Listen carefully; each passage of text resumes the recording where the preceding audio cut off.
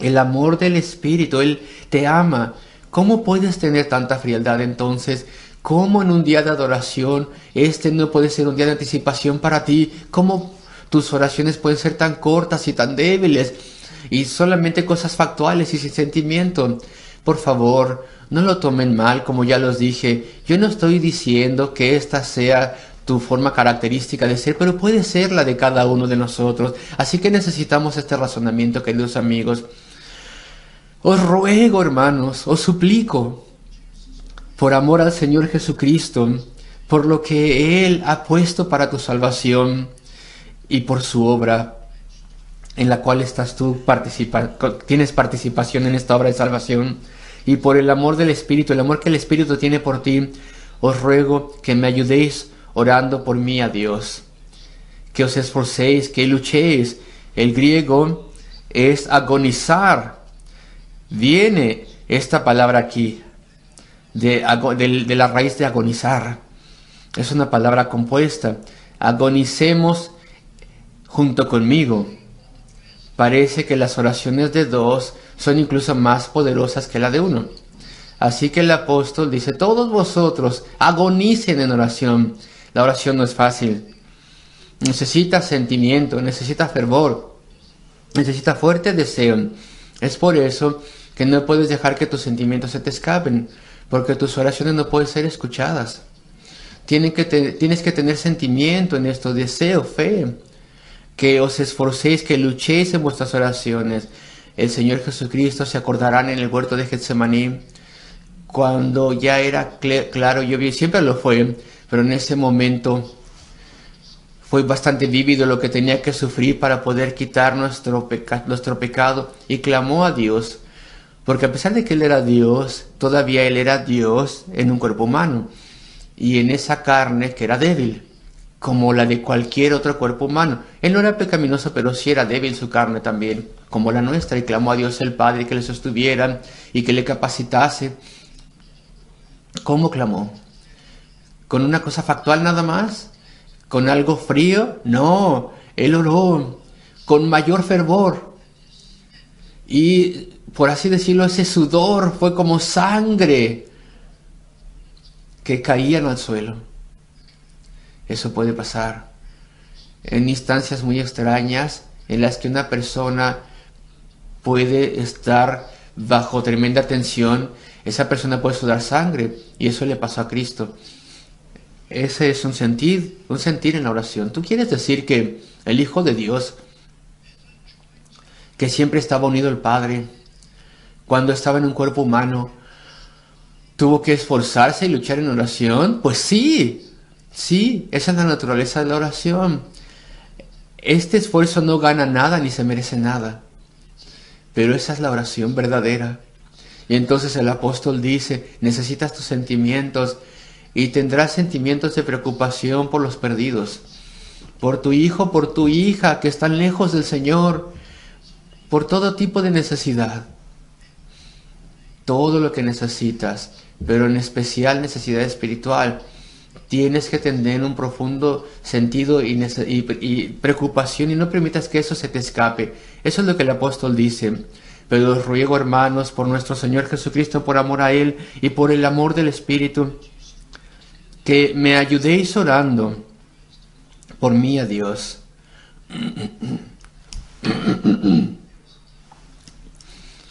Y hay otro punto, un punto número tres. Necesitas tener sentimientos al respecto de cosas específicas. Y en el versículo 31 tenemos una oración de tres puntos. Una agenda de oración de tres puntos. Punto número uno, versículo 31. Para que sea librado de los rebeldes que están en Judea.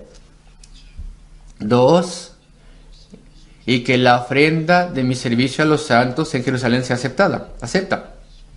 Número 3, versículo 32, para que con gozo llegue a vosotros por la voluntad de Dios y que sea recreado juntamente con vosotros. El apóstol Pablo pide estas tres cosas en, en específico en la oración.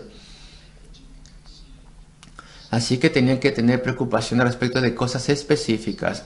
Y a veces es bueno, cuando estás tú solo, sola, es bueno que escribas las cosas por las cuales te preocupas. ¿Cuáles son las cosas que me preocupan en la oración?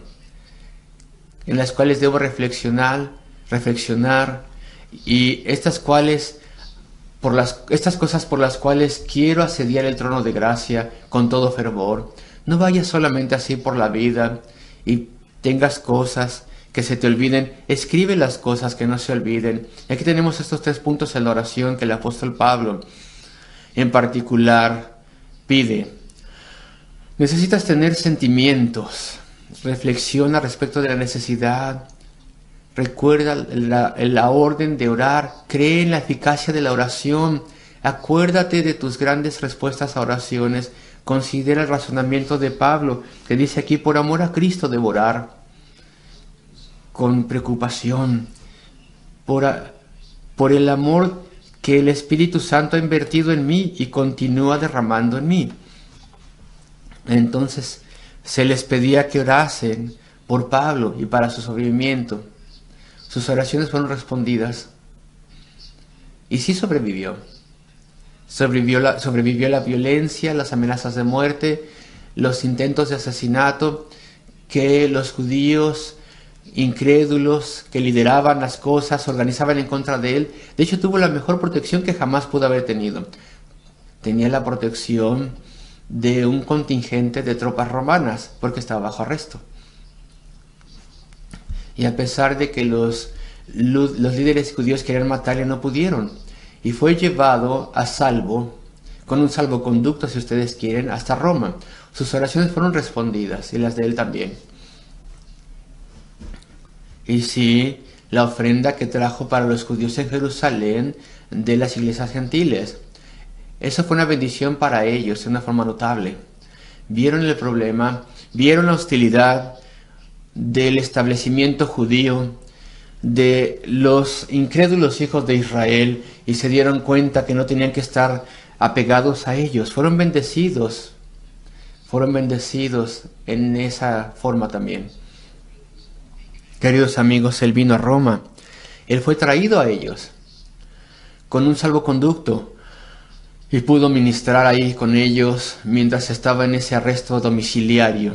Era bastante inusual, dicen los expertos, no era muy común. Y él pudo rentar una casa lo suficientemente grande como para tener en aquel tiempo a todos los líderes para escuchar su testimonio, a los líderes judíos. Bueno, amigos, las respuestas fueron escuchadas y voy a tener que avanzar a mi terminación, a mi conclusión. Y bueno, no puedo avanzar mucho más porque mi garganta no quiere cooperar, pero el cuarto punto es que tendríamos que tener gran sentimiento de seguridad y gratitud. Mira el versículo 33, donde dice, y el Dios de paz, ¿acaso no tiene esto que ver con los sentimientos? La paz y el Dios de paz sea con vosotros. No es el final de la carta, pero es apropiado al final de este pasaje, porque todavía tenemos el tema de los sentimientos aquí. El Dios de paz sea con vosotros todos. Y esta no es la paz de una tranquilidad de forma emocional, sino que es la paz que experimentamos cuando la guerra se termina. Y esto lo expliqué hace poco tiempo en nuestro culto de enseñanza. La guerra, hay un tiempo de hostilidad.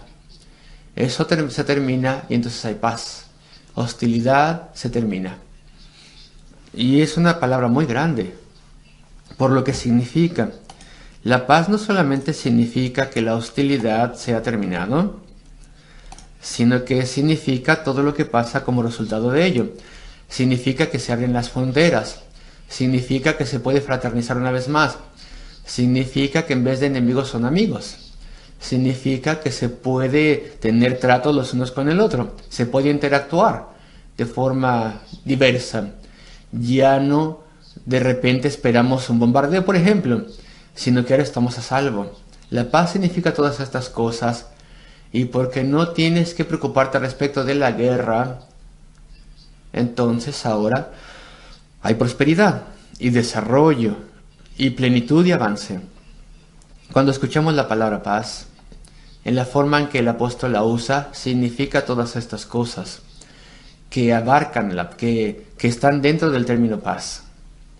Y el Dios de paz sea con vosotros. Estamos en paz con Dios. Ya no tenemos hostilidad en contra de Dios, ya no estamos bajo su disciplina, bajo su condenación, a través de Cristo, porque hemos confiado en Él, por eso hemos sido traídos a Dios y le amamos y clamamos a Él, le invocamos e, interactuamos con Él y le pedimos bendición y nos la da esta bendición. Y estamos a salvo, porque esta paz durará para siempre. Cristo dice que venimos a Él y ya ningún hombre nos puede arrebatar de su mano. Entonces hay paz y hay estabilidad y certeza y prosperidad espiritual. No necesariamente una prosperidad terrenal. Nunca crean los maestros de la prosperidad. Ellos no están obteniendo sus ideas de la Biblia, sino que están en contra de la Biblia y verdaderamente están en un error y es peligroso lo que dicen. Pero bueno, sí tenemos prosperidad espiritual y felicidad y paz con Dios, paz el uno con el otro, paz en nuestro corazón. ¿Tú aprecias y valoras la paz? ¿Puedes meditar en esto? La doctrina de la perseverancia de los santos es la que tenemos aquí. Tan indigno como soy y tan, con tanta tendencia que tengo para caer, Dios me llevará hasta el final, me sostendrá. Cuando me aparte, y esto no es para que me aliente a, a escaparme del camino, cuando hierre me traerá de vuelta, aunque me tenga que disciplinar, me traerá de vuelta. En Él tengo paz con Dios y seguridad, y Él me bendecirá y me ayudará. Queridos amigos, atesoren el legado de la paz. Es la paz de Cristo. ¿Qué puedo hacer? Hay un himno que señalé. Uno de nuestros himnos favoritos, estoy seguro. Uno de Charles Wesley, tu fuente oculta de descanso. Este es el himno al respecto de la paz de Dios. Tu gran nombre es la salvación y guarda mi alma en paz y en felicidad, me trae confort y me da gozo y me da amor eterno. Para mí tengo todo esto por tu nombre, tengo perdón, santidad y el cielo. Y mira los términos de estos versículos. Jesucristo, mi todo en todo. Tú eres todo para mí. Eres mi descanso en, el trabajo duro. Cuando estás haciendo lo mismo en el mundo, día tras día, semana tras semana, año tras año haces lo mismo y tengas que tener esta carga sobre tus olmos, tu gran descanso es que tú perteneces a Cristo y este peregrinaje terminará. Serás utilizado para servir a Dios por su misericordia y poder a través de tu peregrinaje y al final serás llevado a la gloria eterna. Esto es mi descanso en mi trabajo pesado, mi, serenidad en el dolor.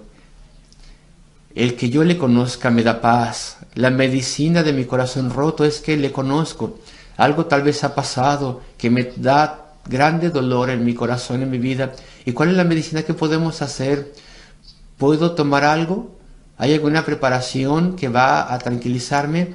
No necesitas una cosa así. Porque tienes a Cristo y tú eres de Él y Él está contigo.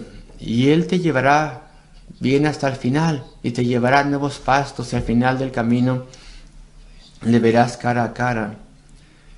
En guerra tú eres mi paz, en pérdida eres mi ganancia, Señor. Todo está mal tal vez, pero si Dios es tuyo y tú eres de Él, tendrás paz. A veces vemos las cosas en la televisión, vemos por ejemplo que algo se quemó y se ha destruido y hay personas que están afuera que se quedan sin nada y puedo entender que todo esto es trágico, pero no necesitamos atribularnos porque tenemos vida eterna porque tenemos a Cristo y Cristo está contigo. Dios es mi sonrisa. Cuando Satanás nos tienta a creer que nunca has sido salvo y que no eres cristiano, recuerda que tienes que agarrarte de sus promesas y que Él es confiable y que tu salvación no depende de que tú tengas éxito en hacer algo, sino en el éxito que Cristo ha tenido en la cruz del Calvario, en la vergüenza. Tal vez en la oficina has sido despreciado, en el trabajo, y tal vez todo el mundo está en contra de ti y piensan que eres ridículo. Y dice este himno, en vergüenza Cristo es tu gloria y tu corona. Si tan solo tú pudieras llevar a estas personas a la luz de Cristo, tú tienes todo lo que vale la pena tener. Y estos versículos de este himno avanzan. Y mi tiempo se termina. Debo terminar. El Dios de paz sea con vosotros. Gozaos en la paz de Dios, que sobrepasa todo entendimiento. Acuérdense que es el legado de Cristo. Tú meditas al respecto de esto, tú sabes que le dijo a los discípulos, una de las últimas cosas que le dijo, mi paz os doy, mi paz os doy. Es su legado, la paz. Reconciliación con Él, y todo lo que fluye a través de esta paz. Queridos amigos, uso estos versículos para alentaros, a alentar vuestros sentimientos, cientos de sentimientos de anticipación, de preocupación también en la oración, sentimientos por cosas específicas y también sentimientos de gratitud y maravilla por la paz de Dios que es tuya. No seas un bloque de piedra frío, no estés allí tranquilo y, frío, sino más bien ciñe tu cinturón y sirve al Señor. El Señor te da gozo a través de que reflexiones respecto a estas cosas. Hay que tener amor por Cristo, este amor que fluye de un corazón cálido.